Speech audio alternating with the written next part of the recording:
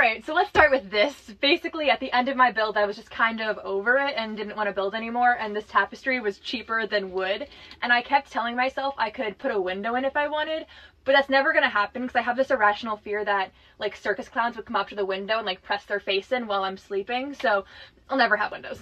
Alright, and welcome to the cab. There's a little bit of everything from my travels and a DeLorean because my last name is Delury. Alright, so this is my pile of shame on the floor. I'm always sweeping and I'm always wearing shoes because the floor is freezing. And even with the giant closet, there's still a stack of clothing that'll travel from the bench to the bed to the front seat and just cycle through and through. And then back here, it's pretty standard.